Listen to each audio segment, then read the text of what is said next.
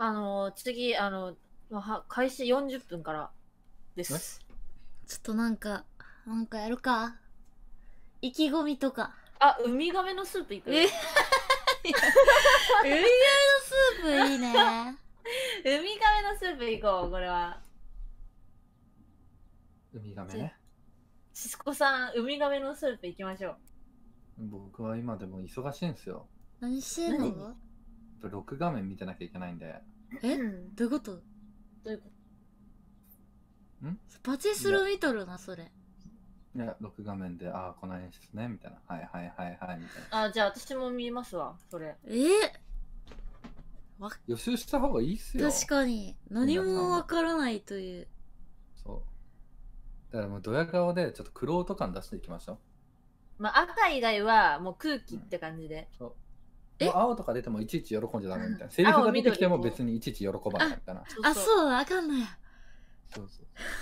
金で、もうちょっと叫んでいいレベル。あ、金来たら、え、どこでわかんの？これ、金とか。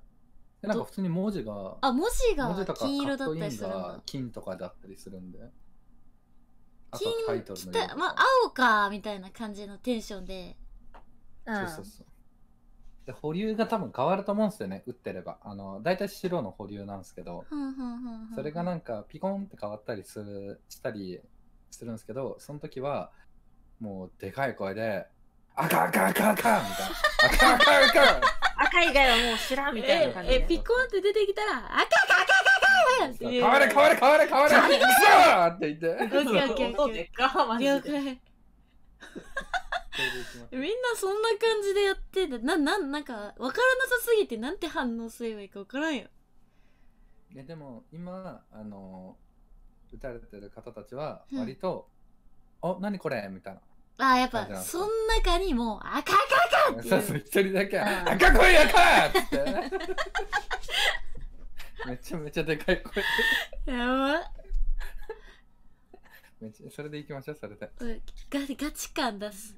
それガチ感出しました。あの保留がマジでそうですね。変わるだけで超嬉しいですもんね。ちょっと、この後若干教えてもらってもいいですか？あもうパチンコなら任せてください。ゲームより得意だ多分